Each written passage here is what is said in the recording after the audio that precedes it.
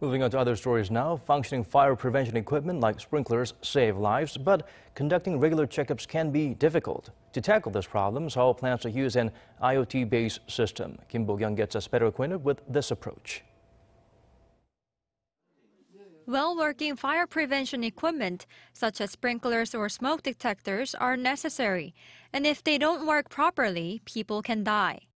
A fire in Jecheon, Chungcheongbuk-do province in 2017 led to 29 deaths when sprinklers and fire doors malfunctioned.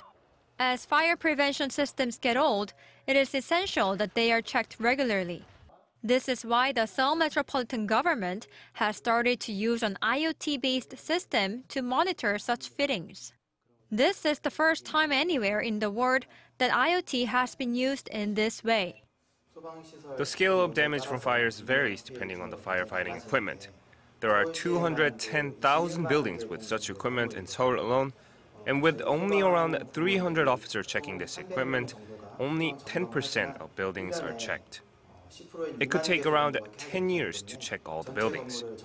That is why we decided to monitor them regularly through this high-tech system.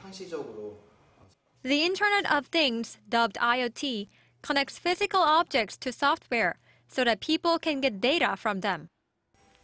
With IoT system installed, the local fire station will be able to monitor the system at any time through smartphones or computers. The system has been installed in more than 700 buildings in Seoul so far. It lets users know when a fire breaks out or when equipment needs replacing. For three months from December 2017 to February 2018, we tested the system in eight buildings. During that time, the amount of malfunctioning equipment decreased by 33% and the breakdowns fell by 80%. The city government plans to make a law that can force buildings to have this system, and is also planning to install this system in more buildings in the future. Kim Bo-kyoung, Arirang News.